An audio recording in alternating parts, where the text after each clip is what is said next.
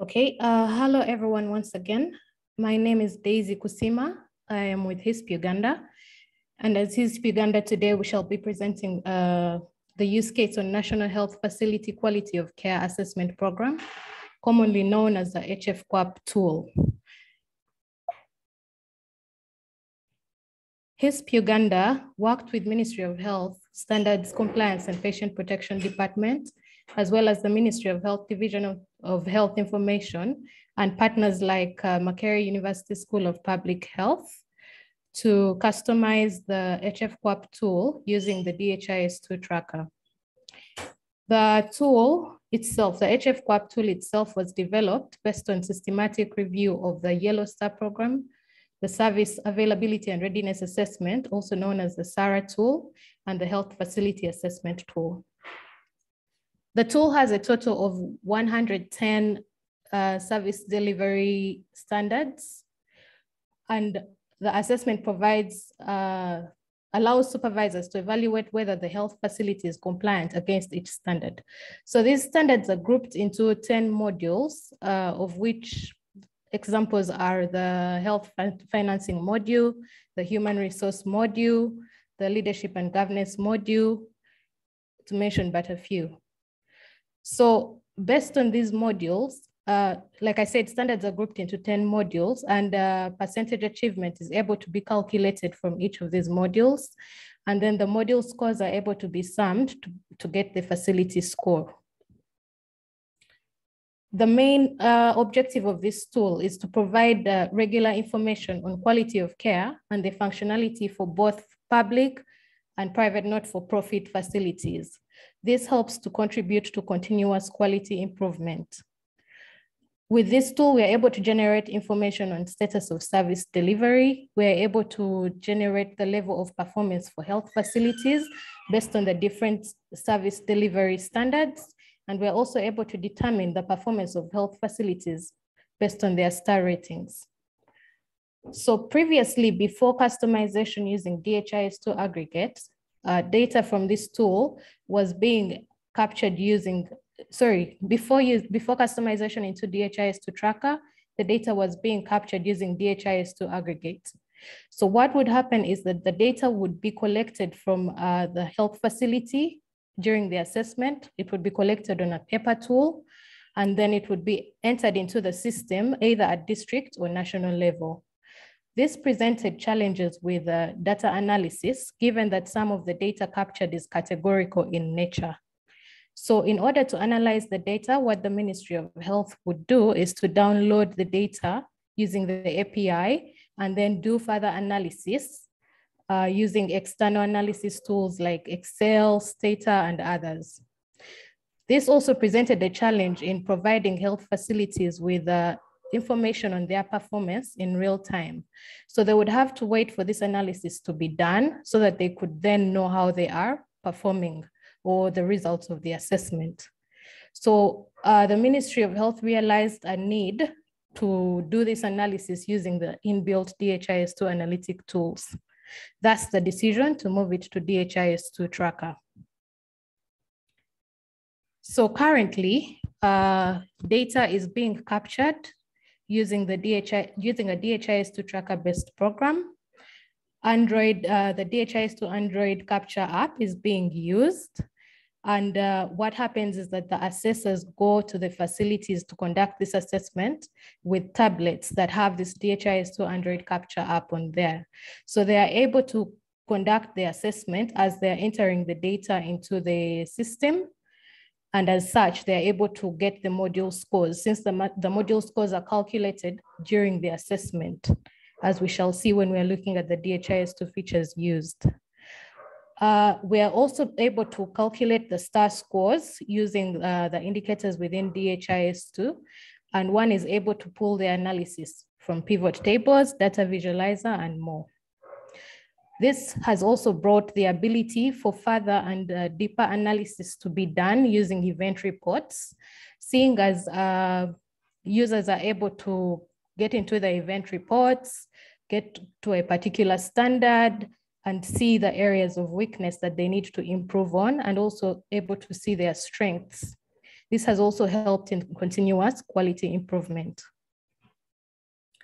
So the DHIS2 features that this system leverages on, uh, first of all, it's the DHIS2 tracker program. Uh, what's happening is that the system is a, is a DHIS2 tracker program. Like I said, uh, the tool is based on multiple 10 modules, and these modules have been customized as program stages in DHIS2 tracker, as we are able to see within this image here. So every module is captured as a program stage, and one is able to go ahead and enter this data in there. We have also made use of the DHIS2 uh, Android Capture app, like I mentioned. It is the one that uh, data is entered, is used, it is the one that is used to enter data at the facilities during the assessment. We have made use of the program rules within DHIS2 to ensure that we are capturing data that is of good quality. So uh, we had we have different scenarios. There are different standards that apply to different health facility levels. For example, you find that a particular standard applies to a health center four, but does not apply to a health center two. Uh, for example, maternal health that is not really uh, done at health center twos. So as such, we made use of the program rules to ensure that when an assessment is being done, if one is at a health center two, they are only seeing questions that are applicable to a health center two. We also made use of the skip, uh, sorry, those were the skip logics. And then we also made use of the assign value program action because there are some questions whose uh, response is determined by a response given to a previous question. So to ensure that quality data is captured, we assigned values based on whatever question was answered before. We made use of program indicators to calculate scores, which were displayed in real time for feedback given to health facilities.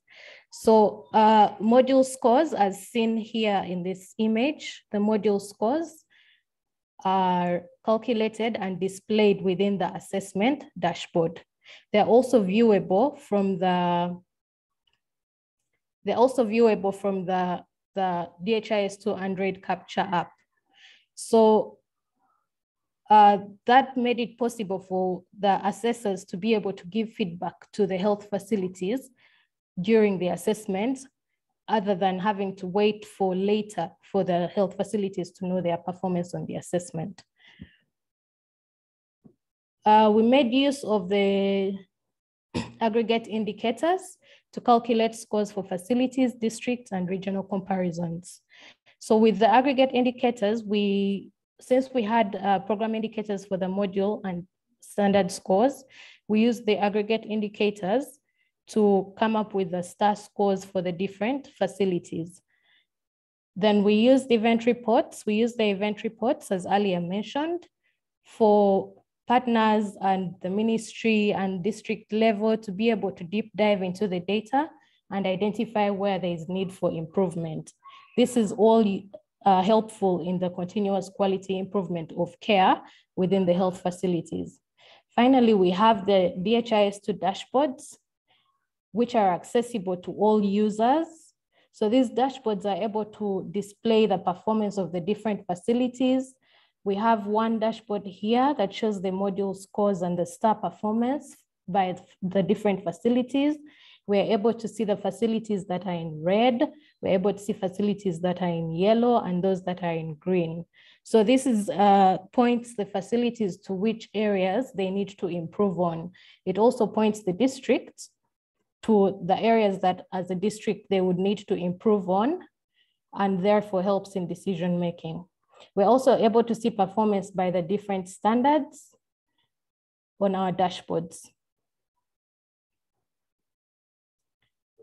So this tool uh, is being used countrywide. It's being used by all districts in the country to assess public and private not-for-profit health facilities currently.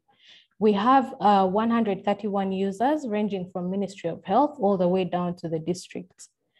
Then there are also different types of assessment that are captured within this system. Uh, we have assessments that are held at ministry level, and uh, those are ministry led. So those are able to be captured. Then we have assessments that are led by the district. For example, if a district decides they would need to do an assessment and find out how they're doing as a district, how they're performing as a district. Then we have partner-led health facility assessments. These, facility, these, these uh, assessments by the partners most times are focusing on a particular module. For example, if a partner is supporting uh, is supporting the human resource of health facilities, they're able to get into the system and do an assessment on only that, just that one module. And then we also have the health facility self-assessments, whereby a facility wants to assess itself and see its performance. So here we have an image of the data entry screen at the point of re registering an assessment where we have an assessment type where we are able to capture whether it is a national assessment, a self-assessment, or a modular assessment. So how was this rolled out? Uh, first of all, this whole process started from the Tracker Academy in 2019 that was held in Kigali. So what happened is that there were participants from the Ministry of Health Division of Health Information Department, from the Ministry of Health SCAP D department, as well as partners. Uh, during one of the sessions, we were asked to, as a country, sit down and discuss on one tool that we could uh, customize in DHIS2 tracker. So the participants from the SCAP D department shared with us this HFQAP tool, shared with us the challenges that they were facing with the tool. And therefore, we agreed that it would be best that we customize it in DHIS2 tracker. Of course, there was need for uh, the ministry as a whole, the SCAPD department as a whole to agree, which they did. And we began our joint customization workshops in July 2020. So uh, we're able to see an image of one of the joint customization workshops there. Um, within these workshops, we had to sit down again, look at the tool again, look at the key indicators that the, the SCAPD department would like to have pulled out of the system, and then agree on whether event or tracker-based program would be the best, of which we agreed the tracker, tracker would be the best since it was a, it's a really, really big tool and it would be difficult to have as just a single event. And then also we went ahead to look at the indicators, agree which one would have as a program indicator, which one would have as an aggregate indicator, agree on what we would have on our dashboards, and then of course started on the customization work. After this, uh, after the customization work was done, we did field testing. So this field testing was aimed at trying out the tool within a facility, seeing uh, what the assessment process would go like while using the Android Capture app, and then also making the system refinements based on the feedback there. So this field testing was done by the customization team. Uh, one of the members of the team is here. It was done by the customization team. We picked uh, nearby facilities.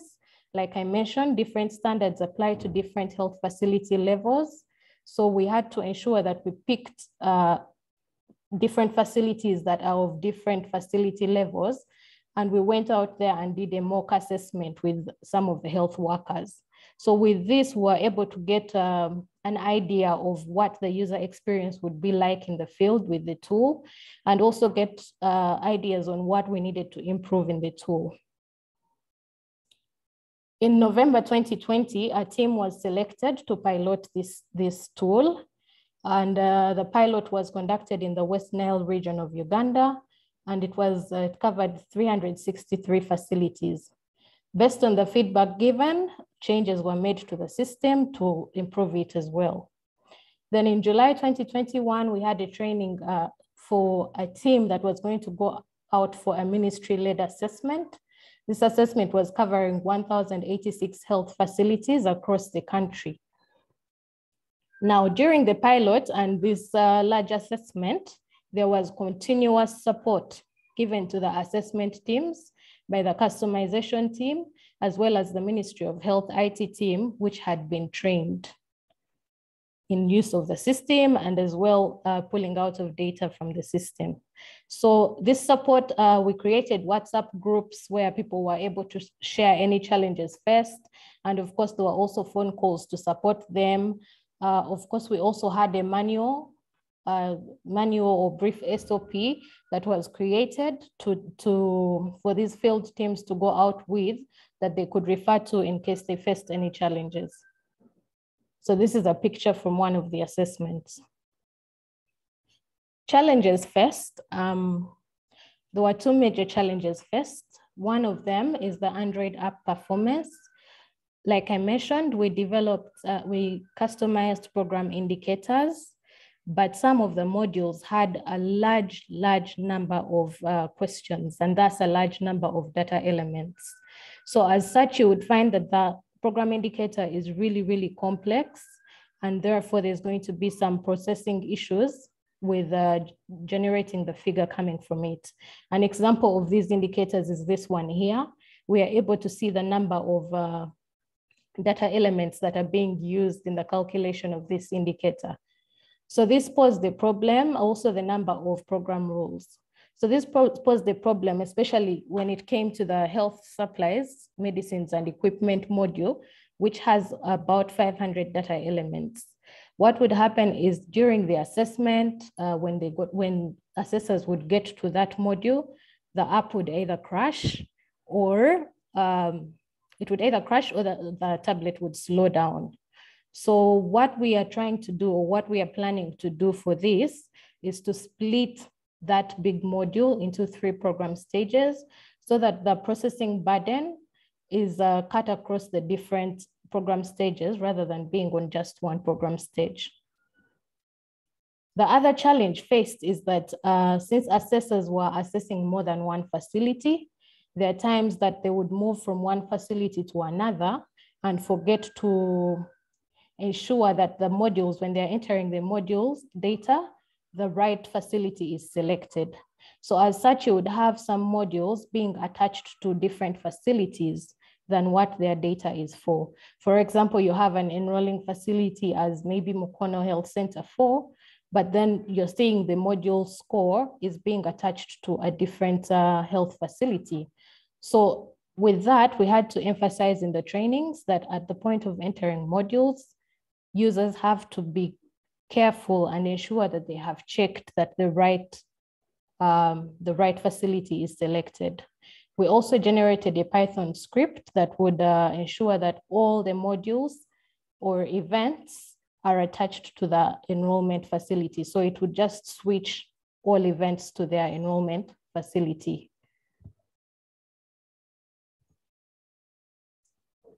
Way forward, um, SCAP department, together with uh, districts and partners, will continue to use the tool to conduct assessments and provide system improvement feedback.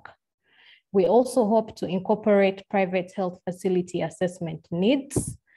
Um, private health facilities have some assessment needs that are unique to them and do not apply to public facilities and private not-for-profit facilities. For example, there is equipment that is that uh, private facilities are able to have that public facilities do not have, or they have differences in their uh, their human resource, they have differences in their financing channels. So as such, we have to find a way to incorporate their assessment needs within the system so that it can be used across all facilities, regardless of whether they are private facilities or public facilities. Then we hope to digitize uh, client exit interviews into the system we hope to cascade training in information and data use from the district to health facility teams and other users of the system. We really, really hope that uh, facilities can be able to master the system and be able to use it for their quality improvement, use the data from the system for their quality improvement. Seeing as we previously mentioned, they are able to get into uh, event reports and see the areas where they need to improve it, it would be good if their capacity is built so that they can continuously use the system and aim to improve their quality of, of care. Daisy? Then, uh, yes, please. One minute remaining, sorry. okay, sorry. So uh, the last point is that we hope to train and empower the SCAP department team to manage the system and then hand it over to them. This is a ministry of, of uh, it is a ministry of health system. So we really uh, hope to empower the SCAP department, train them, get them to be comfortable with the system, get them to know how they can make use of the data in the system, how they can do their analysis, and then finally hand it over to them so that they can run the show. Uh, I think that's mostly it from uh, HISP Uganda. We thank you for your time. Thank you for listening. And we welcome any questions, comments, and suggestions. Thank you. Thank you very much, Daisy, for this uh, wonderful presentation from uh, HISP Uganda. Um, due to the time limitations which we have, uh, we um, we encourage participants to use the Slack channel to post any questions which you have. Um, the participants, the facilitators will try their level best to kind of respond in the Slack in real time while we are conducting this uh, session. So please feel free to uh, post your questions on the Slack. Um, next is a presentation from uh, HISP um, Rwanda. Uh, our colleague Jean Paul will um, uh, present a use case. Welcome, Jean Paul.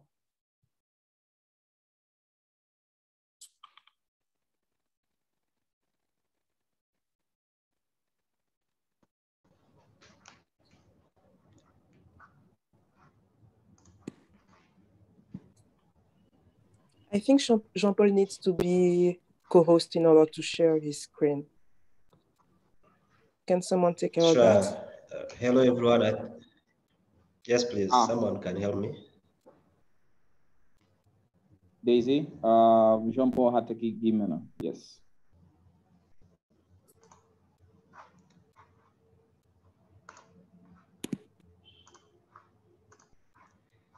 Okay. Uh, uh Thank you very much. Uh,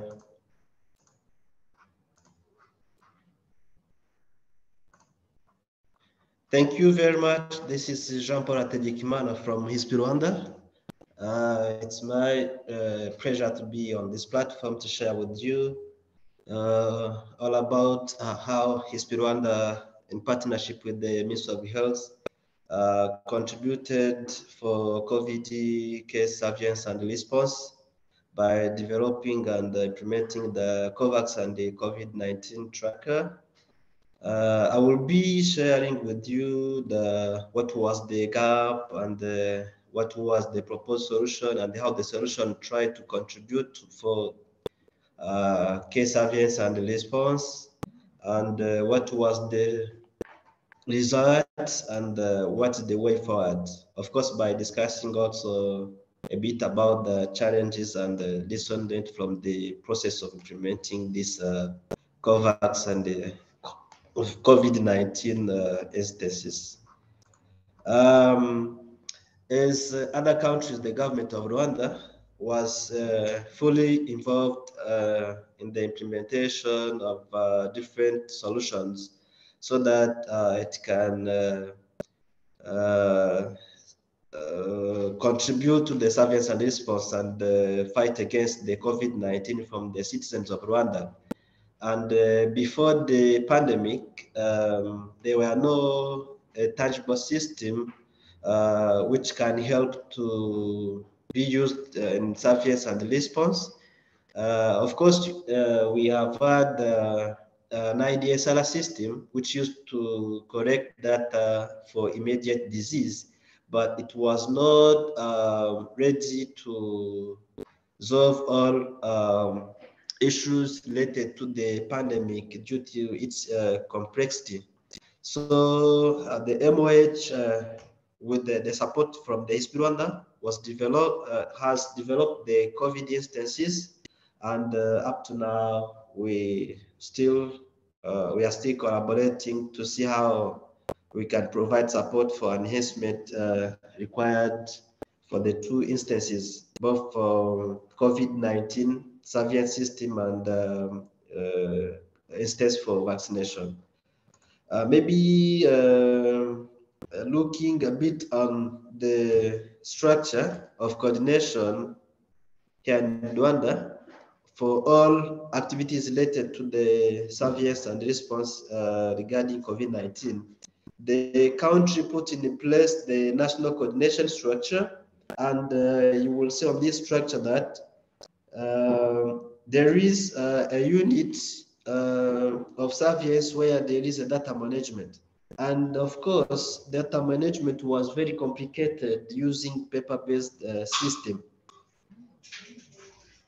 Um, uh, using this paper-based system and also considering considering uh,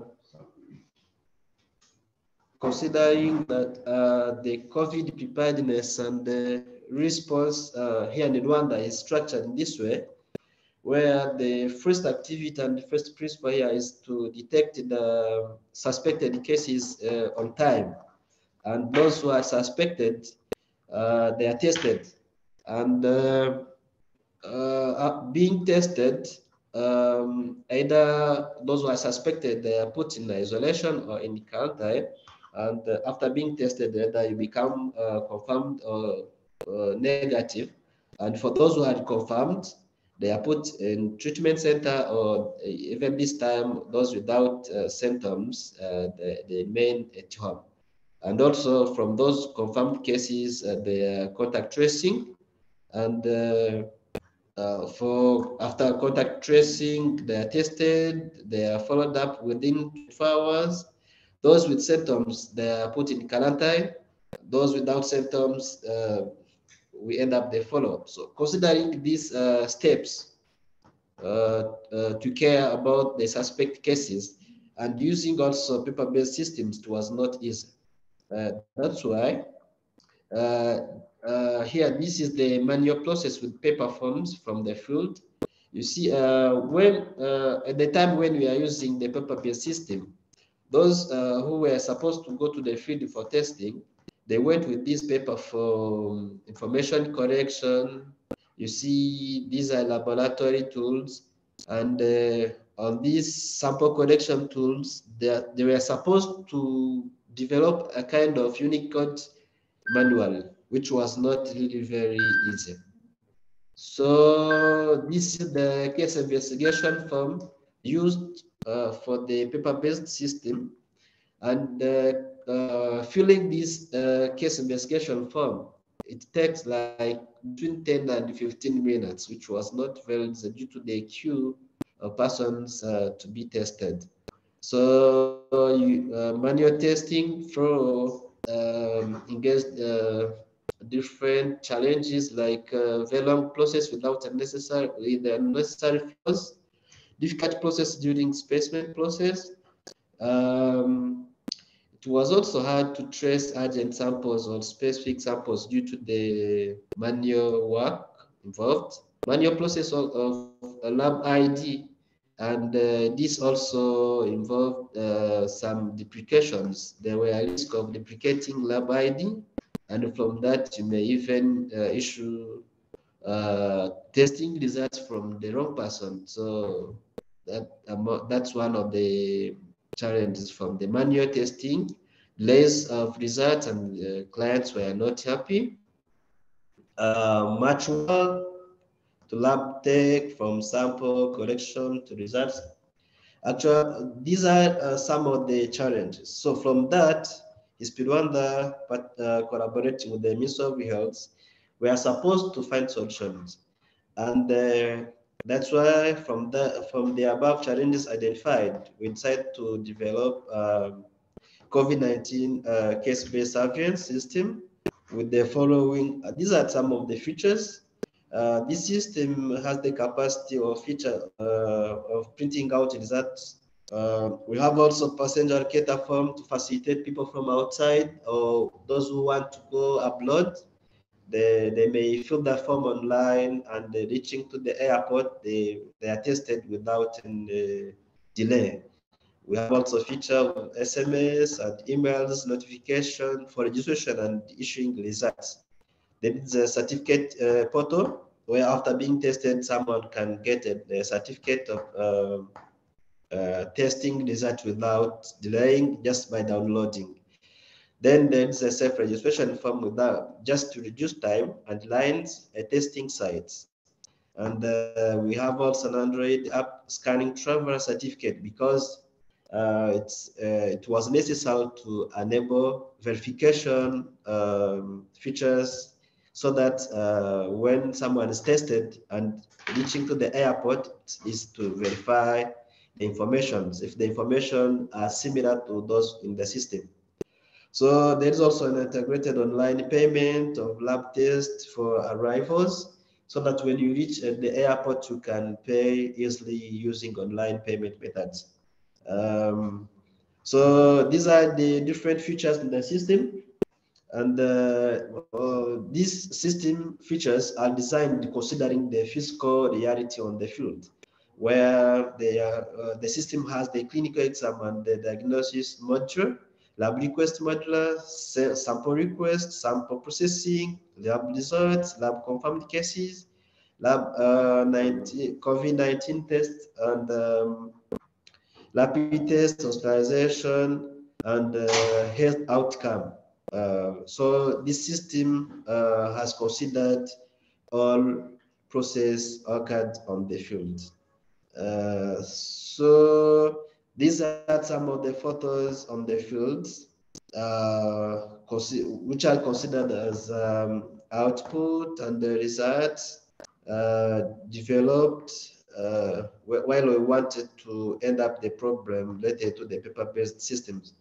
Field sample collections, here staff, uh, RBC and the MOH staff were collecting a sample in the field. These are the clinicians and these are the clients.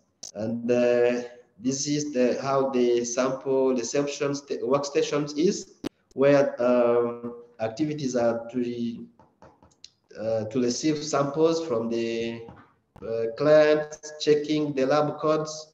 Actually here, uh, this system is uh, generating automatically the lab codes, which are here a unique patient unique ID. Then confirm that sample are of good quality, no rejections. So here in the system, there is a modular for sample exception. Then um, this is also how sample are processed. And uh, after processing the sample in the laboratory, they have also to fill sample processing information in the system. Uh, this is how uh, unique ID generated by the system is put on the lab uh, sample collection space uh, tool so that uh, they will be able to identify clients without any confusion. And this is how the team in charge of entering results in the system are working. And after entering results in the system, a client will receive, is receiving the SMS, and this SMS will lead them to download to the link where they're able to download the certificate of their result certificate of their test. And uh, you can see that uh, they are allowed to put their phone number and unique ID so that they can download their test results. And uh, this is the test results. And you can see here that there is uh, an option QR code so that this QR code has to be uh, verified to see if really the information are similar to one in the system. Uh, you see that here uh, there is a uh, the way to scan uh, certificate for travelers at the airport. And this is the dashboard to monitor the testing figures. So these are the summary of uh, system implementation and achievements.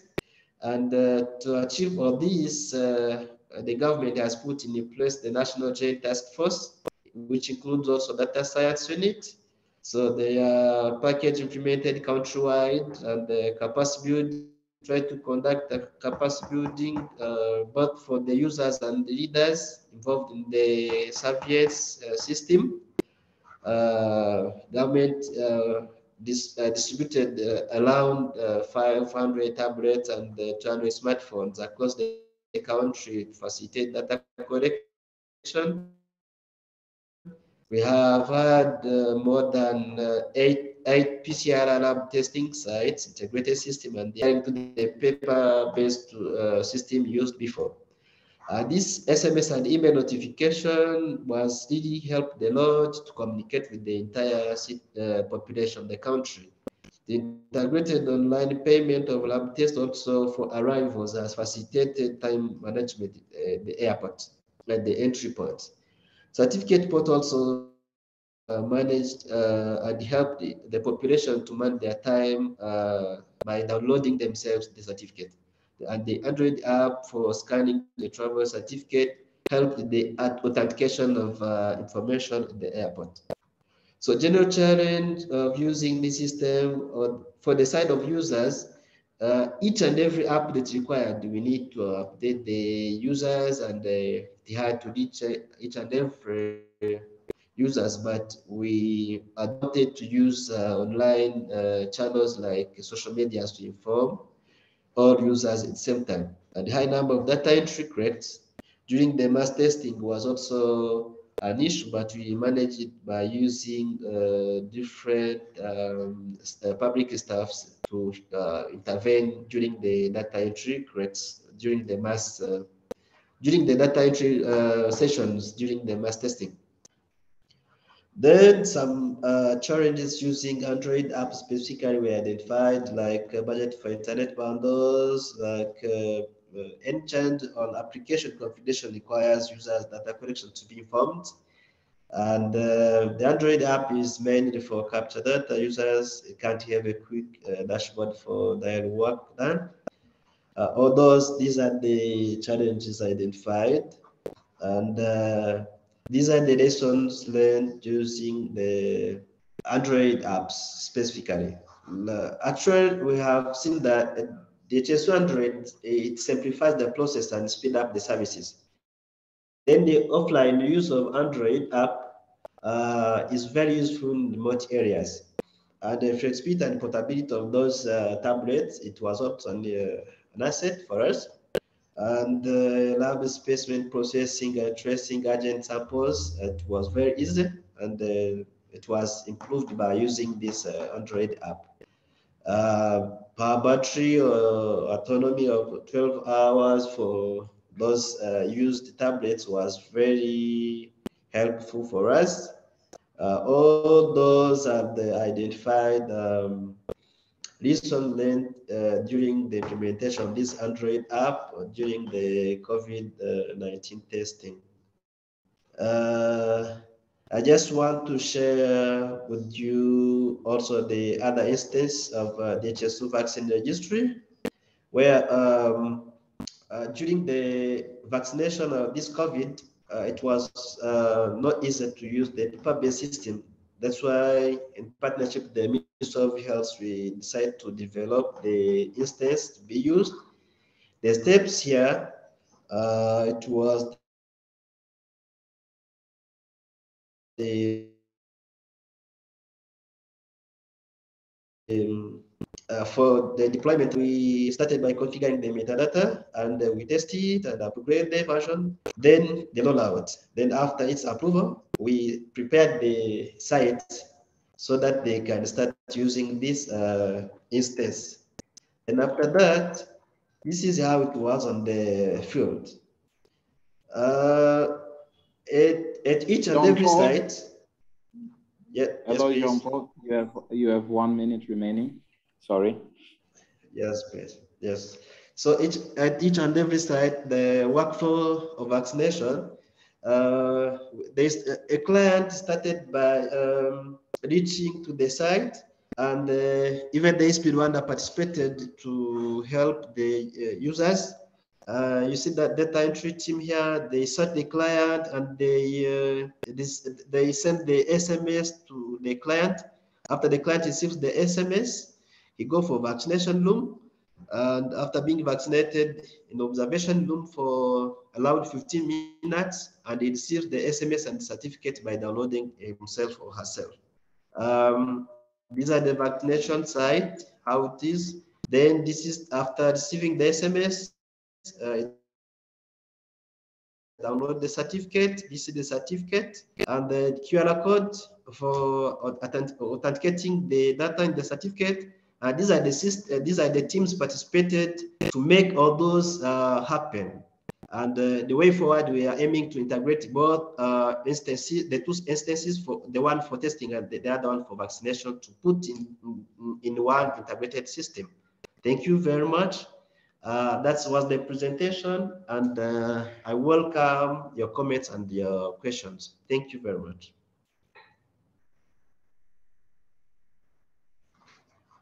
Thank you very much, um, Rwanda, for a very good and enlightening presentation, especially on these times of um, COVID pandemic, how you have digitalized your um, solution and used it uh, to help in these um, difficult times. Now, uh, as I said before, our time is a little bit limited and um, we, we, if you have any questions, please use Slack. I've started to see some questions from participants on the Slack. The, the facilitators will be responding to these questions shortly.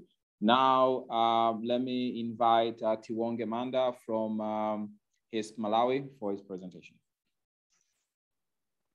Uh, thanks, Wilfred.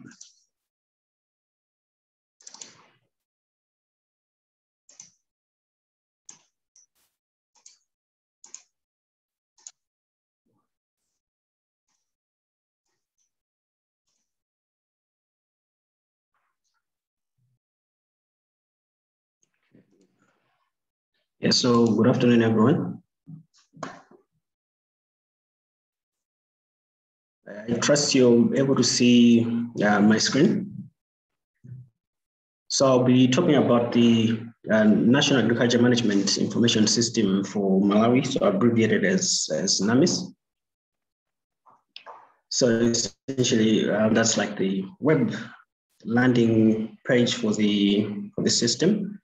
And in terms of what I'm going to talk about, so we'll just look at the, the background leading to development of the system, uh, system features, issues around implementation, and challenges faced and how uh, some were tackled, and then uh, future plans. So um, in Malawi, so this uh, work was done under the Ministry of Agriculture. So with the Ministry of Agriculture, what as frontline workers, you have now what are called extension workers. So extension workers work at community level. So like at household level, they'll provide um, advice on agriculture to households and also collect different kinds of data at, at household level. So these processes are largely paper-based. And also when you compare the level of uh, digitalization within the Ministry of Agriculture and other uh, government entities such as the Ministry of Health, uh, the, the, ministry seems to be uh, lagging behind in terms of uh, digitalization. But in its planning, the Ministry of Agriculture has seen the enhancement of the monitoring systems as a key component to the drive for commercialization of agriculture. So under this, then it was seen that there's need to develop a consolidated digital management information system that provides a platform for all work processes under the, the ministry. So I think before we also had sort of like um, standalone uh, small systems, some of which have been discontinued. So under this current vision for the development of an integrated system, the ministry wants a configurable system that can expand beyond uh, single use cases. And also the other key thing here was to have data entry and use at the lowest point of service delivery. So because the ministry was looking for a tool that people could use as they go about delivering their work. So Tracker rendered itself better than the aggregate component. So when you look at Malawi, for example, the first use case for implementation within the Ministry of Health was the aggregate use case.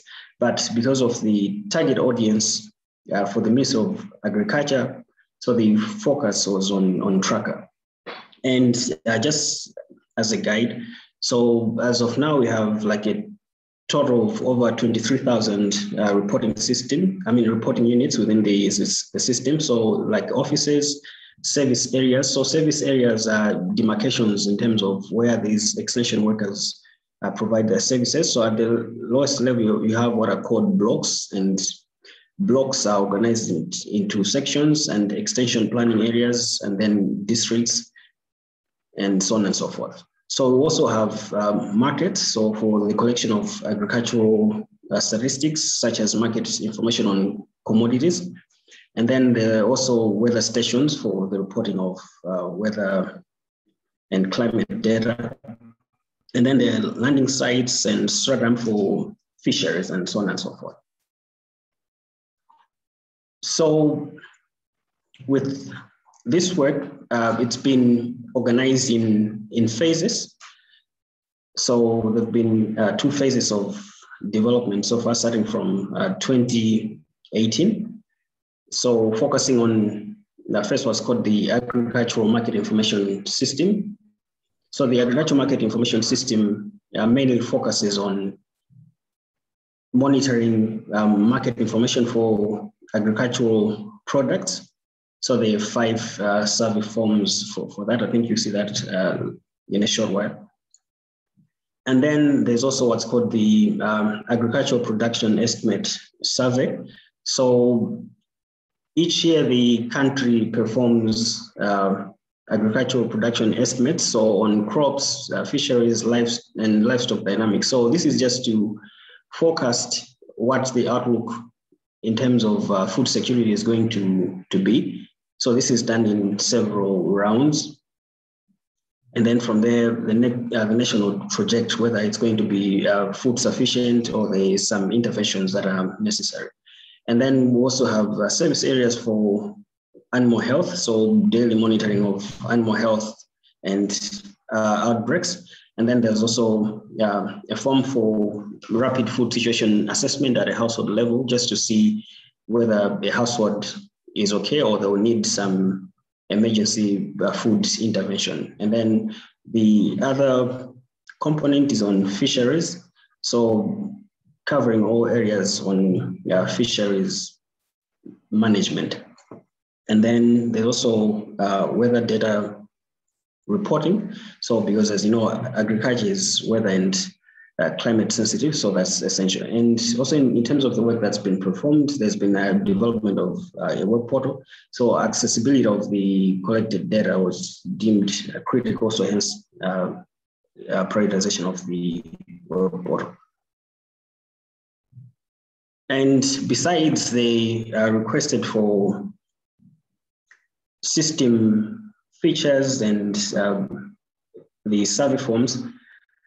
We've also, in the process, I think, um, come up with various uh, custom apps to improve on the development processes. So, for example, with that uh, agricultural production estimate survey, one key thing is to do household and block sampling for the purposes of running this survey. So for that, we developed an app that uh, does that automatically. And then for various purposes of user account management. So for example, mass enrolling of users to some user groups or management of user passwords and so on and so forth. We also uh, developed some uh, custom app to expedite some processes. And one key thing is that in the development of the various tools that I've talked about, we were implementing uh, survey protocols or service delivery protocols. So to do that, uh, that meant that we needed to configure, for example, program skip logic to guide the behavior of the app based on user input.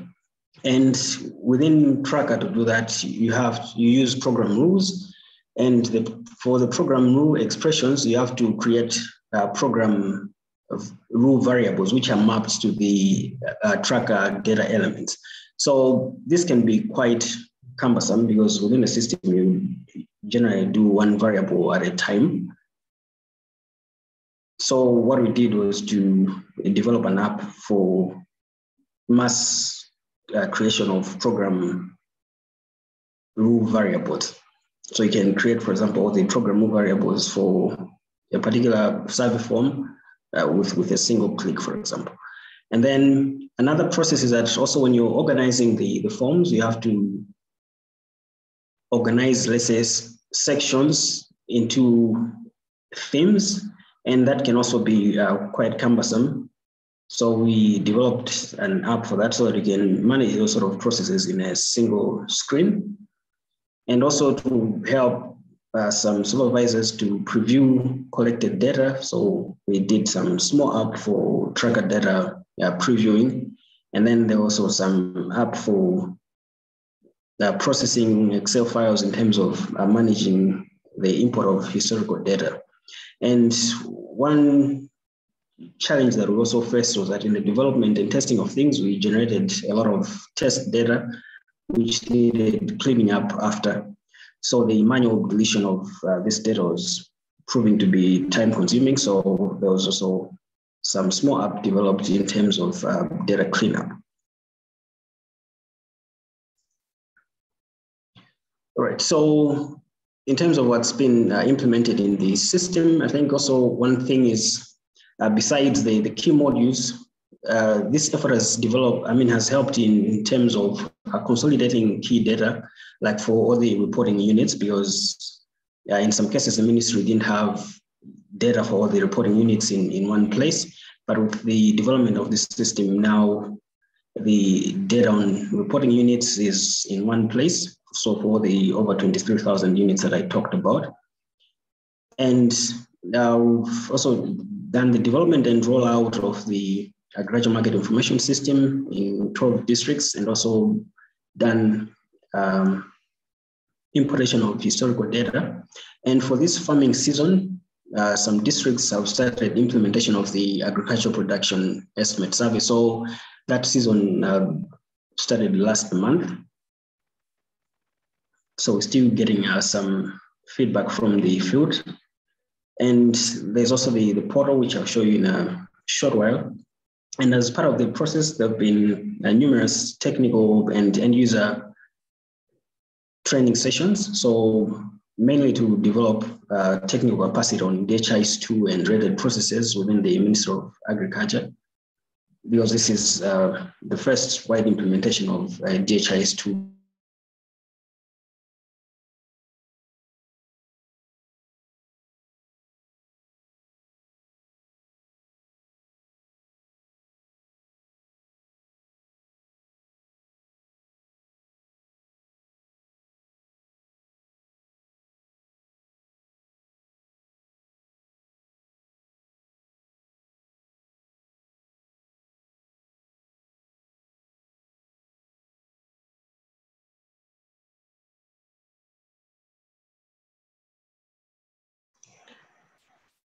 All right.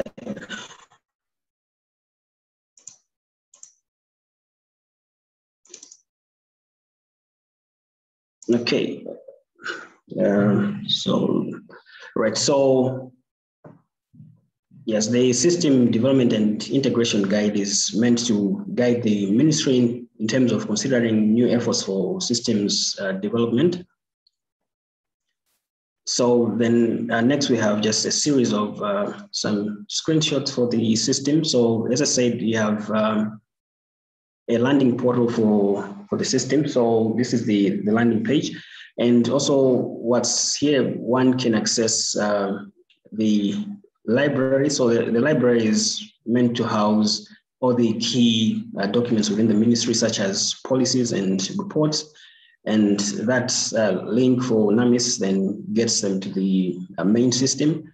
So for the statistics and analytics, those lead to uh, a dashboard for key statistics and also a page where people can do their own uh, analytics within the, the system. And then you have a page for, for news and also a, a directory for uh, key partner links. So uh, here's a sample screen for the for the portal. So essentially, what this displays is that it displays uh, some configured dashboards within the system that have been uh, shared for uh, the, the public to get access to, to data. And for the uh, tools developed, so as I said, you have uh, the agriculture market information um, system tools. So where you can do an agricultural input market survey, so looking at the prices of agricultural inputs, uh, farm gate survey, then you also have the food crops and meat products retail market survey. So for all these AMIS surveys, uh, enumerators go to markets to get uh, that sort of information. Then there's also uh, a household register. So for getting household uh, dynamics. So to your right, you have those two screens on like what sort of data is collected for a household. And then we also have uh, various forms for monitoring livestock uh, dynamics. So everything about livestock that a household may keep. Um, so these are just expansions of what's being collected for the yeah, livestock forms as a sample of some functionality provided by the system. So like this form A1 and A6 collect everything that the household would uh, possibly keep. And then let's say based on what sort of livestock the household keeps, then you can get to specific forms like that one on goat population and dynamics to get further details on that, or if it's on cattle or whatever other animals, as you can see on the extreme left, you can then go ahead and collect that sort of data. Uh, so I think for developing this system functionality, one key thing was to leverage existing systems. I think like the, the tracker and the uh, Android capture, because that saved a lot of development time, but we also leveraged uh, a lot of other custom apps like the extended user management app from the the uh, DHIS2 App Store. So for the implementation, the implementation of the, the modules is being done in a phased manner because this is a countrywide system, but and everything can be implemented uh, at once. So as I said, we first implemented the agriculture market information system components, and then with this uh, rainy season, we implementing the agricultural production estimate surveys. And this is also being done in a phased manner across districts. So like that agriculture market information system was implemented in 12 districts, and then it will be gradually scaled to other districts. So uh, in terms of challenges, I think some key things relate to the level of uh, DHIS2 technical capacity, this being the first system within the Ministry of Agriculture. But what has been done is we've had uh, several workshops in terms of uh, developing technical capacity of IT staff as well as developing uh, capacity for end users. And also this being a national system, one key thing is trying to align uh, funding cycles to make sure that the system is scaled to all the uh, districts in country and also in a context where you have multiple implementation partners as donors funding initiatives, there's also the challenge of trying to align parallel efforts that may be doing the, the same thing. But the good thing is that also agriculture, I think, for digitalization is in the early stages. So that's in a way uh, manageable at, at this stage. So another challenge has been, uh, I think, bug fixing timelines within the uh, main DHIS2 component versus uh, local time sensitivity. So an example is that uh, with the release of the, the new version, I think like the form names were not displaying. So we we're about to roll out an implementation. So that in a way delayed our rollout, but at least we were able to link up with the global team and that was eventually resolved. And then uh, the DHIS2 Android capture app performance can be an issue at times. So I think forms are heavy, as was the, the case with uh, Uganda, the app does crash at, at times. And also, in some cases, it forces you to choose in terms of uh, the usability of things where you can, like, as to how many rules, program rules you should have to make the app dynamic, or which is likely to affect performance or what you should leave out, which may in turn affect uh, usability. And then another thing that we've noticed is that terminology of the DHIS2 Android capture, in as much as it's uh, meant to be generic, but leans a bit more towards the health domain. So I think we've engaged with the global team on that as well to change some things uh, in, in, in due course. And another key challenge has been the uh, quality of available documentation, especially on, on tracker and uh, program indicators. So you tend to spend a lot of time trying to figure things out. So I think that's an area for possible collaboration and improvement of things. And uh, in terms of uh, future plans and ongoing efforts, so we're working on continuing to roll out an expansion of the modules that have been developed and also to further develop uh, technical capacity and to mobilize uh, funding for further development, as well as to strengthen system development uh, governance structure so that we don't have duplication of efforts.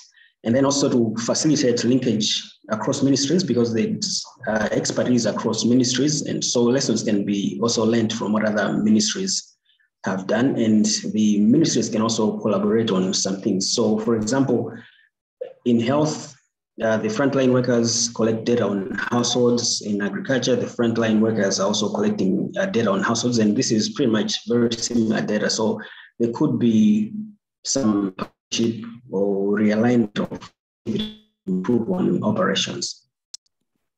So, uh, and thank you for, for your attention.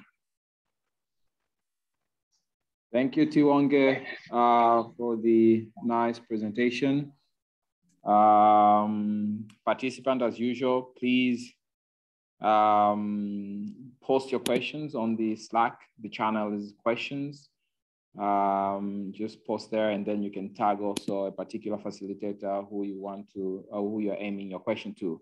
Now, the next presenter will be uh, Wesley from um, HISP Kenya. Uh, he'll be presenting um, their use case. Uh, Wesley, welcome.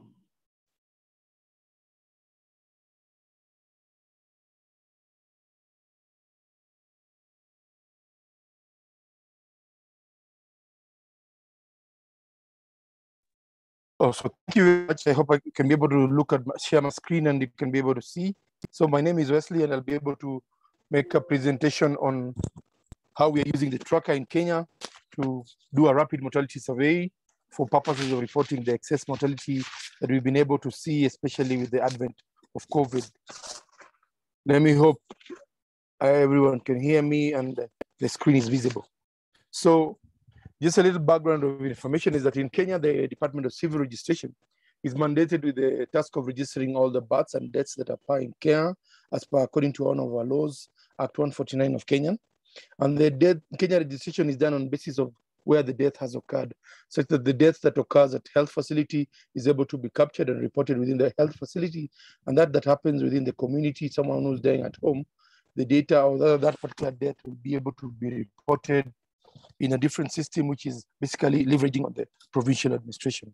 As it is at the moment in Kenya, it's important to note that we are experiencing a very, sorry, we're experiencing, we are experiencing a very low reporting rate of deaths. That is the reporting of all deaths as for now, our coverage in 2018 was only 42%. We went down in 2019 to 38, and in 2020, we really went way below, which is at 37.1. So this significant variation in county-specific coverages is also something to note that Nairobi, which is our capital city, has one of the highest reporting rates, whereas the other counties like Siaya and Kajiado are very, very, very low. Important to note that as we look at this, the reporting of deaths is one of the key things that is envisioned in the SDG targets, for which the SDG expects us to at least to be able to register at least 80% of deaths appearing or occurring within our country. And uh, clearly, as a country, we are very far from this. And that is why we had to mandate or to develop a tool that would be able to be used by health workers in health facility so that at least we could transition ourselves to 100% reporting for facility deaths as we keep working on the challenges of what happens at community death. So the rationale of why this particular thing was is that we needed to inform decision makers about the full magnitude of the health consequences of COVID-19. I think most of you are aware of the COVID-19 and the number of deaths that have been appearing. So we need to tell the policymakers, for example, for the people coming to the hospital, are we seeing excess deaths? And this is by done by ensuring, first of all, we're able to capture all the deaths that are happening. And once we transition it into the system, we'll be able to compare with retrospective data for the deaths that were occurring before COVID and be able to determine or ascertain are we experiencing any excess deaths at this particular moment. So the, it enables the capturing of mortality data in real-time manner, which is mainly daily to enable monitoring of population trends and inform public health measures. And it will help us as a system as health to build capacity in the civil registration system. And the effort is to ensure maximum benefit of routine data system to policy. Our broad objective when we were rolling this particular app within the KHIS tracker instances studio was to rapidly generate timely quality data during the COVID-19 pandemic with the aim of strengthening death and cause of death notification and registration in Kenya. I think most of you will be aware that by the time WHO had released the ICD-11 code for COVID, most of the COVID deaths had already been reported and largely or and by mistake or by default, a good number of them had been allowed to come in and be reported as just deaths due to pneumonia or any of those particular areas. So other objectives for this particular area is that we needed to streamline timely reporting of mortality notification from health facility level, to improve our coverage of completeness of death and cause of death, as I'll be able to show you through the forms that we have developed within the system, we do realize that a number of deaths will be able to be reported, but the cause of death, the sequencing of the death was an issue, and we needed to develop something that could be able to capture this very, very fast as we move ahead.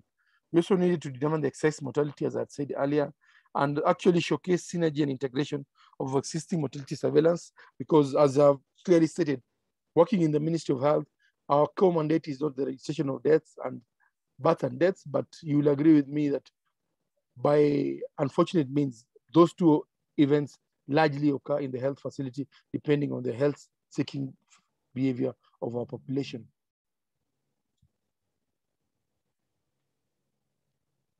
So this being a pilot thing as a surveillance, we need to select a number of counties within Kenya that, where we could quickly go in and be able to deliver this particular uh, deployment of the KHIS to be able to report. So we had a number of factors we had to consider before we could pick up on a facility. We looked at COVID-19 high burden.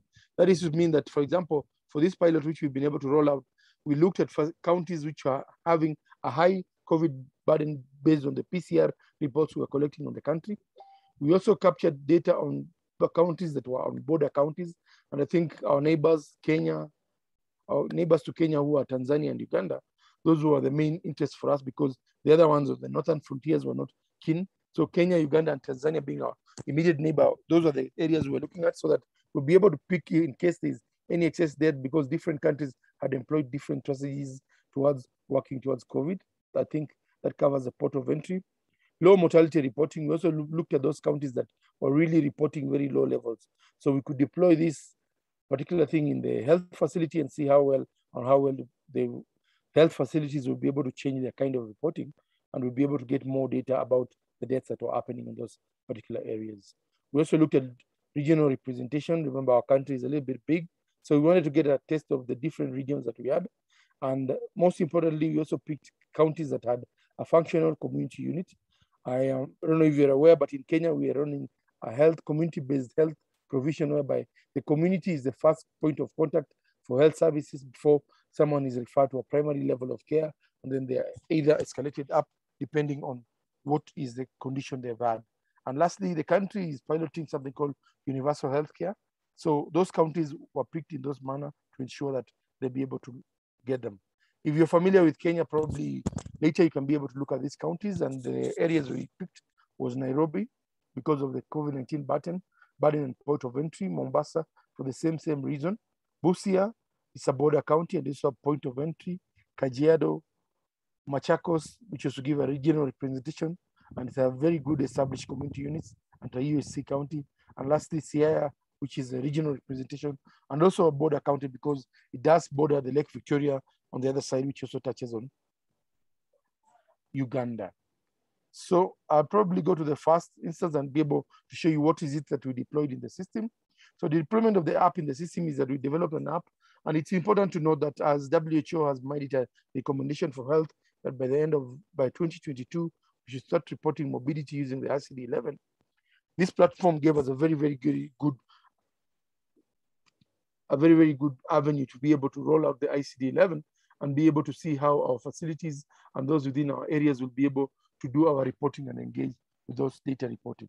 So once you land on our site, this is where you'll be able to go. And the next thing is that the tracker instance that we've been using, I think those of you are familiar with event-based reporting, which is a program within the DHIS2 module, which runs on that. And once someone has been able to log in, this is what they'll be able to see. On the left, they'll be able to pick on the landing page, which would clearly give you a site. It's important for me to mention that our reporting units for this particular was health facility. So we have the Kenyan hierarchy, which arranges our facility according to our administrative units, where we have Kenya, and within Kenya, we have something called counties. And within the counties, we have sub-counties. And within sub-counties, we have wards. I think the next slide will be able to give you what I'm talking about. That is in Kenya, we have Kenya. A good example is that Baringo County. And within Baringo County, we would have something called a sub-county, which is Baringo Central Sub-County. And then within the sub-county, would have which are known as a ward. And within the ward is where the facilities are laying. So a good example of what you're all seeing on the screen is that uh, this is a classical case of somebody working in Baringo County Referral, and this is what they'll be able to get in. Important to remind those who are familiar with these use cases that depending on the user role, we could be able to limit you to only the particular area which you're working so that, for example, if you're working in Baringo County Referral, when you land on this page, you'll only be able to enter data for Baringo. And that is something that we find very positive because the user role helps you ensure that data quality is adhered very well at data collection point. This is probably how it looks like. And the important key, I think those who can see the screen, is you'll be able to look at the add event. And once you click the add events, to be able to take you through the system and give you how you'll be able to report a particular death. So this is how immediately an event was captured. We as a system have ensured to reduce data errors. You can see the first row on the system to be able to quickly pick all your events. That is your basic events details. That is, for example, this is an event being reported on the 11th, 10th, 11th, 10th of no November, and it's from Baringo County, the Baringo sub-county, and the Baringo County Referral Hospital. This area auto-populates, so there is no need for someone to be able to enter them then this again, the various things for those who work in data that ensure that data being collected, at least quality aspects are being considered very prior to it. So on the first part, this is mainly the picking of the demographic. The things that we were able to keep pick were the date notification. Let us remember, kindly, I did not mention that when a death occurs in Kenya, there is a form known as a death D1, a death notification form. And when it's filled, it's filled up. Part of that data is what will be able to be transferred here. But not only that, what is in the form, but also what exists within the patient file to be able to inform the part of cause of death. So this would basically be the screen where we were able to pick our demographic data, the county, the sub-county, the usual residence, and all the sex and everything that go with it. Yes, on a lighter note, if you realize in the area written sex, in Kenya, we've had a lot of activism and to now health is being required to collect our data, both for male, female, and the unisex. I think that's a good one you can pick from us. Then the next thing to look at is we are collecting data of the medical data. And a beautiful thing to notice here is that the preceding causes of death, which would have been captured from the report, would be able to be captured in the section listen A and B. And if you are not able to select or pick one on the far right, all the details of that particular incidents, the system will not be able to save. So we require you to pick A, to pick B, to pick C. And if there's more than one antecedent cause of death, all of which will be captured. And if you look at the area, state the underlying cause of death, the system will automatically pick the last row which has been filled up there so that that will be able to be picked as the last cause of death. And uh, within the system, that means, for example, we could be able to pick what, what is this thing causing our excess deaths within our health facility all around. The next thing we're looking at is uh, other medical data. This is basically for those conditions. I think some of you are familiar how death appears occurs in the facility. We looked at those that are related to surgery, whether an autopsy was done, and the manner of death, and lastly, if it was a poisoning or not. And uh, what is beautiful is that once the health facility records officer had been able to enter all this into the system, they'll be able to complete the form and the form will be able to be uploaded very quickly into the DHIS2 platform, which is our KHIS tracker. Now, what are some of the strategies we did in about to ensure that at least this thing will be able to be picked? Now, being that ICD 11 has not been rolled out in the country, we needed to do capacity building for health records officers on the system.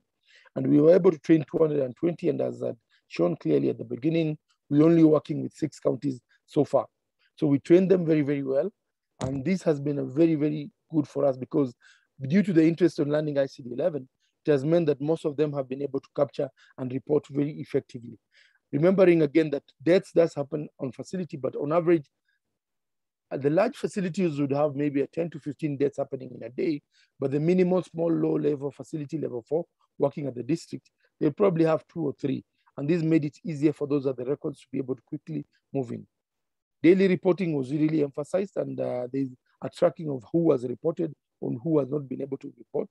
And lastly, I think some of you have been able to look work with the program, you'll realize we really worked on the graphic user interface so that whatever the health worker who's reporting was interacting on the screen, they'd be able to be very, very easy and simple to be able to enter.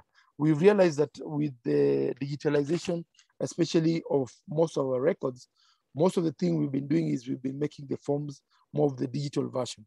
And that hinders how well or how easy our health workers are able to interact with it.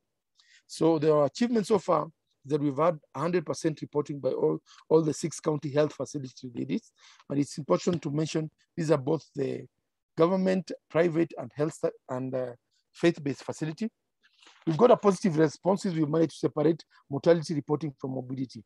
Kenya has more than one use case of the tracker instance or the program instance. So one of the few things we did with this is we were able to separate reporting of mortality separate from the reporting of morbidity. We did realize that when you combine them, mortality and morbidity, whereby what differentiates them is mode of discharge, whether it's death or alive, it was really becoming cumbersome for health workers to report deaths because someone looks at the forms and realizes there's so many and maybe there are only three deaths there and deaths is what was of our interest. Other counties are now asking us to be unclear in the next phase. And we've actually, most importantly is that the fact that we were able to deploy the ICD-11 within the system and it's what I need to mention is that it's it is intelligent in that it re reduces the need for the clinician or whoever is entering data to know the disease. Those of you who've worked with ICD-11, I think you'll agree with me. I just need to type malaria until it will give me all the forms of malaria are available and it will be able to tell me which one I am looking for and quickly pick it up. Now, our challenges as we've been deploying this particular system is internet connectivity. I think Kenya remains one of those countries where internet penetration is very, very good. But again, the connectivity cost has been quite of our major hindrances, but we've asked the health facility to support it. A big gap that exists within the KHIS program is the ability to analyze the data because now we need to transfer the data, either download it via Excel or CCSV and move it to ANACODE or MAMACODE so that, for example, if someone was to ask me what has been the top 10 cause of death for this particular facility, we need to take it to another platform to analyze it. So it's a gap that exists within the DHIS2 platform. And maybe I believe as we keep working on it and improving on it, we'll find a way to make analysis very, very easy. Now, the capacity of coders and certifiers to use ICD-11 remains a challenge. I think those of you, I don't know any other country where they've been able to do it very well, but you'll be able to realize that 90% of 60% of people will be able to reporting in the death certificate that cause of death is cardiopulmonary arrest and it stops there. Whereas the other subsequent or antecedent causes that made the patient appear in the health facility so that the cardiovascular thing that has been written there makes sense remains a challenge.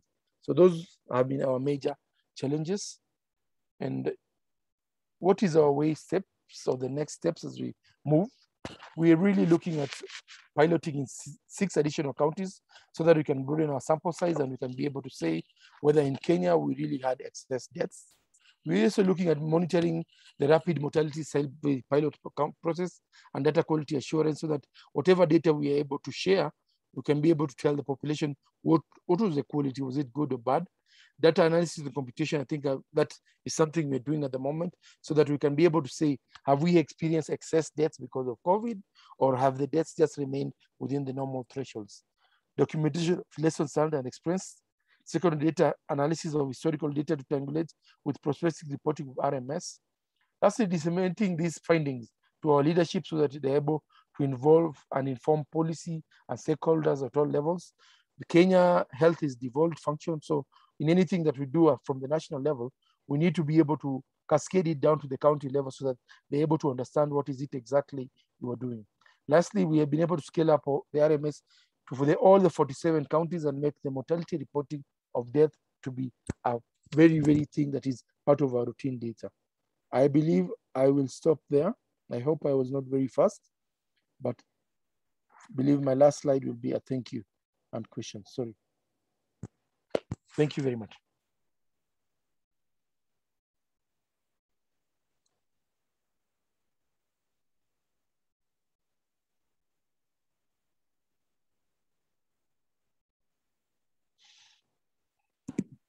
Thank you very much, Wesley, for your nice presentation uh, from HISP Kenya.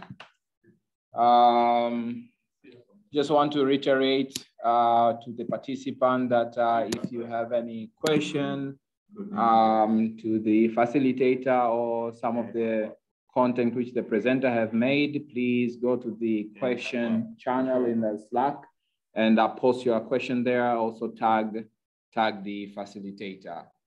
Um, now we'll be shifting to a presentation to from HISP Tanzania. Wesley, can you? I'm trying to get the button.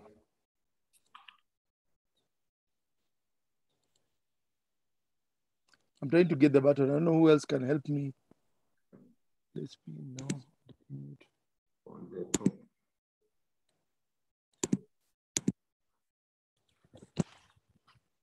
Um, Just, just yeah, I think that should be fine.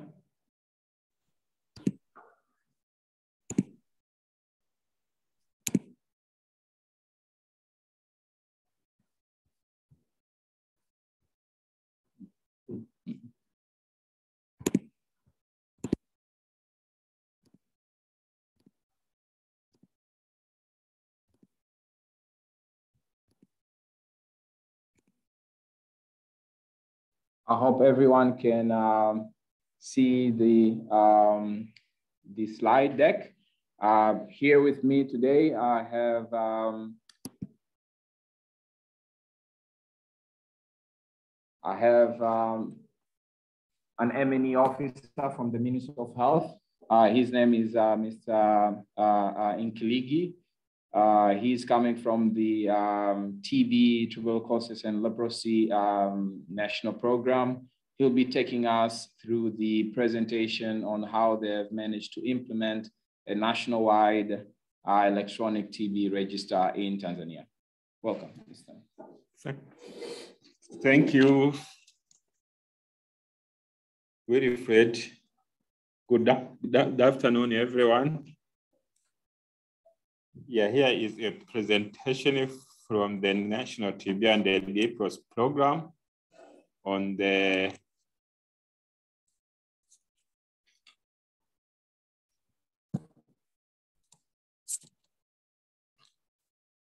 on the TB and the leprosy uh, electronic system, which we call it the ETL.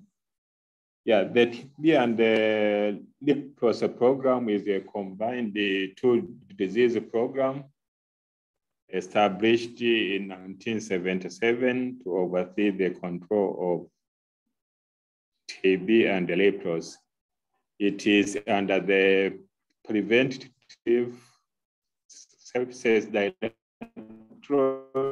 in the section of the epidemiology. It is headed by the program manager, senior medical officers.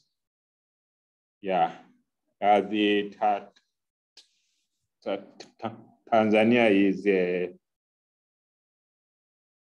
for also the uh, WHO and the UATD standard in providing the B services. Previously, the program operated on the two system an electron electronic one and the paper based system. at district and the higher level, and uh, a paper only at the facility. So th there was the two evaluation or assessment, the epidemiological and the impact analysis, and also the evaluation of the TB's surveillance system in 2013 and 2014, which all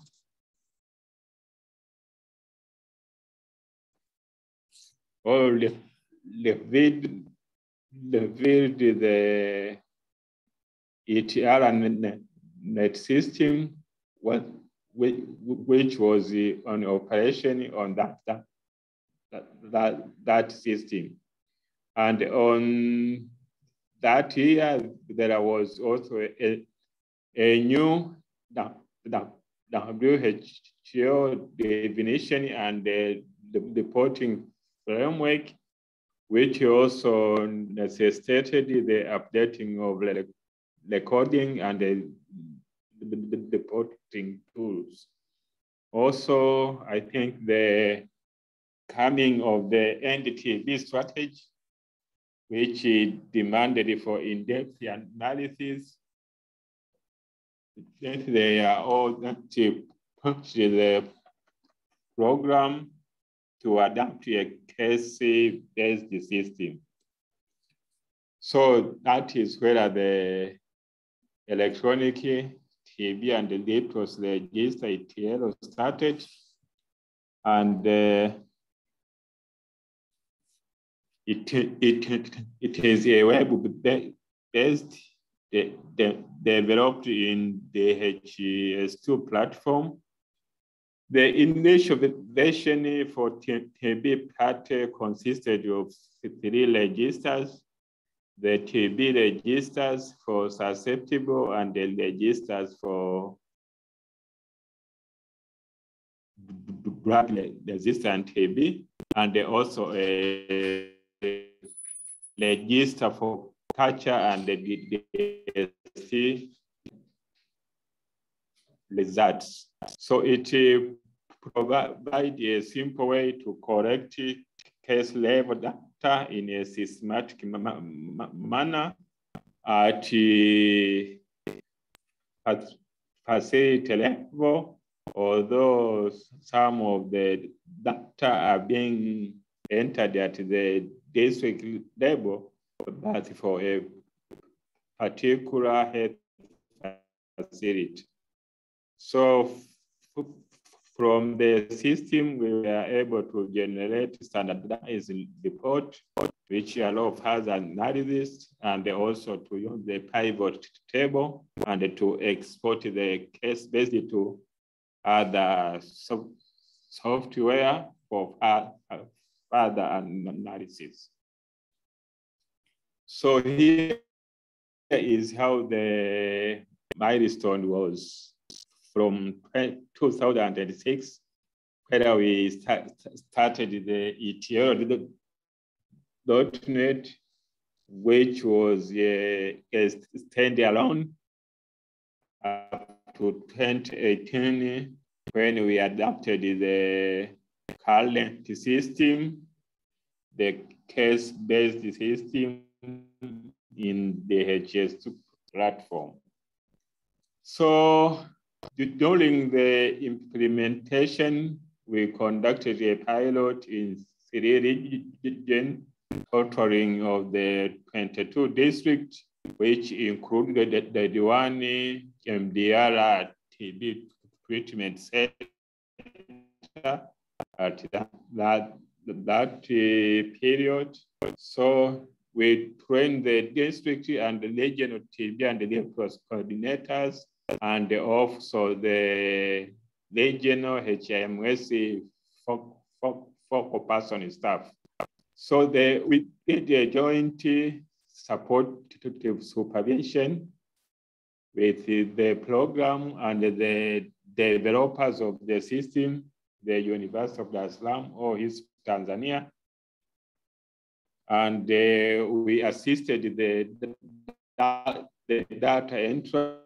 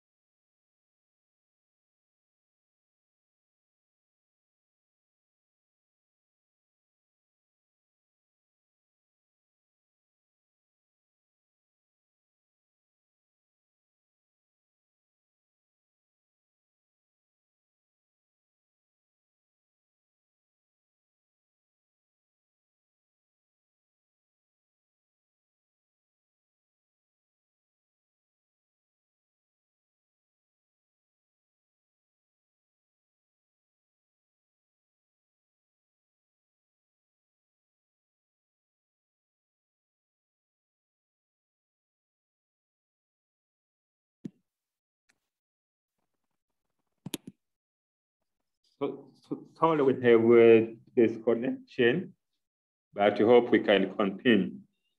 So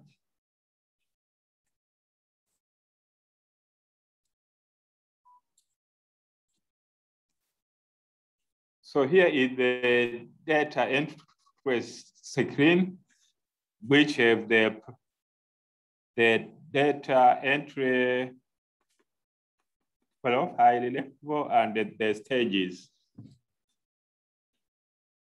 So the, the, the demographic information, they are both on the profile and the other information which uh, cannot be cannot to, to, to be captured at once they are put at the st stages like the HIV, the treatment, and the laboratory test results. Okay, the some of the dashboard which can be generated from the system. And also here is a sample of the standard report, which uh, can is your data customized, so the user can generate it automatically and include the, some of the mo most uh, frequent needed to be indicators. And also there is the same report for reports. So what we left as we, we are not expecting that there was a high acceptance rate of the system by the users at different levels, at region, at the district, and at the some of the few facilities which were able to do the data entry them, themselves. Also the information on interoperability among the TB register, DLR, and the culture and the ST. So we needed also the patient transfer and the referrals to be in, and also the specimen transport and that feedback. That, that are one, one of the information were needed by the users and they are happy with that it will be obtained and captured in the system. Other with that ICT infrastructure is crucial for the success of the system and the data availability at subnational level and the level for depth and analysis of the TB cases and treatment. So the lead time data monitoring and analysis was possible at all levels. Mentorship see after training, it was help and we were able to solve the problem after at the summit for the data entrant. And also we need to improve the computer skills and the data use capacities at the facility to the health care workers. So area of the improvement or the improvement on that data extraction features, as we know, most of the users at lower level, they are not, not, uh, not have a data computer skills. So we needed to have a simpler extraction features to enable them to, to use, especially to generate that, that is a report. Also to improve the data use or the information you use. Also, we needed to build capacity on the data review. validation and analysis at the all levels to enable or to promote for the data used at the lower level. Also, we need to involve the healthcare workers at the facility level to use the system. The ongoing planning, which is some, some who have been implemented, was also to scale up the use of the system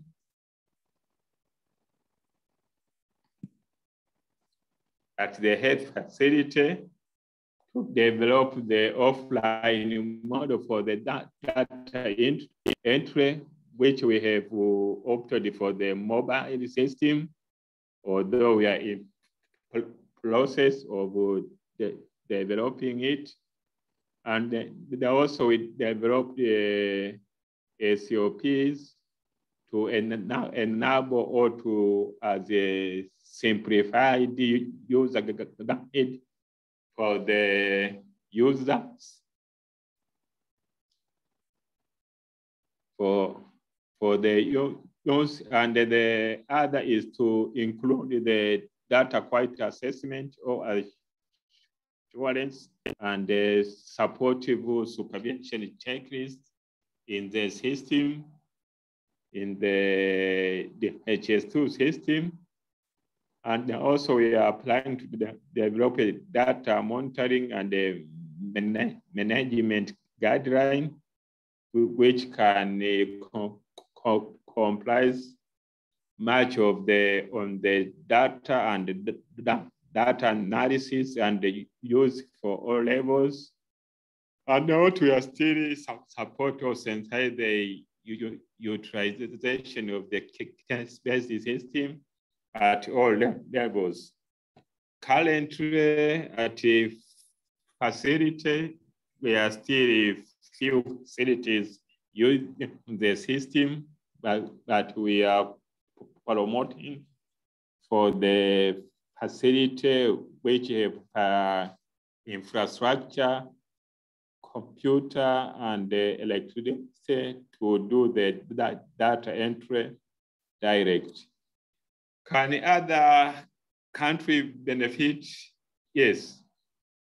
The test-based system can be implemented in resource-constrained countries for what you need is the external to support the local expertise, also to focus on the country context, e.g., who at what level to enter the data, how the ICT can assist in the poor ICT environment, and the, the cross mentorship and the support which is needed to the initial roll-up to stay, stage and also to, to go stepwise approach and uh, rolling up the system. So that is what we did. We did to roll out the Itiero. Asanteni sana.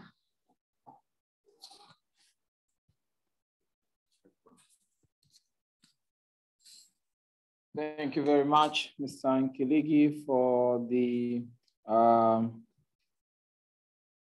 for the um, uh, for the presentation. Um,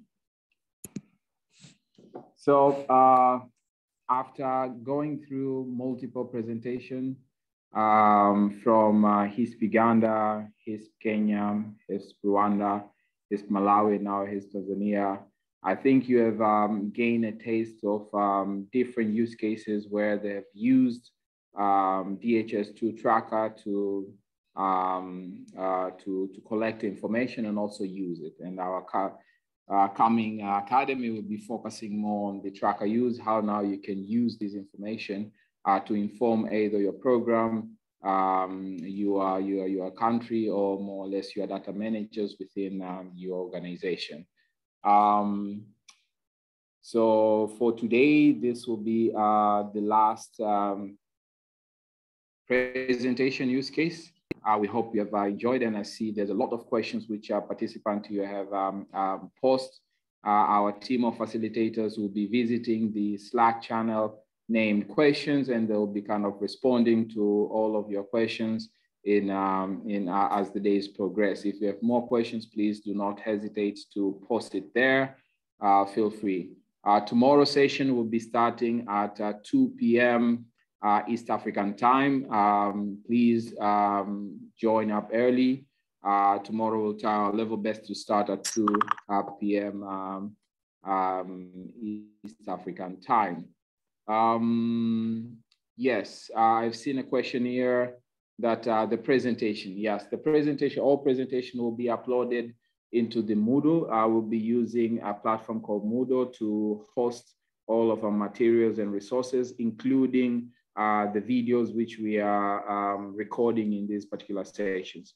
So Hadija, our academy coordinator, will be uh, sharing with you Academy, um, I would say Academy Welcome Guide, where it will have all the necessary information for you for this particular Academy, including uh, the links or how you can enroll yourself in this uh, Moodle platform and other platform which you'll be uh, using. So thank you very much for your attendance um, and participation and um, your questions as well. Uh, we hope we've learned a lot and uh, see you tomorrow, 2 p.m. East African time, where we'll start our session tomorrow, which will talk more about the um, new features for the DHIS2 tracker. Thank you and uh, good evening.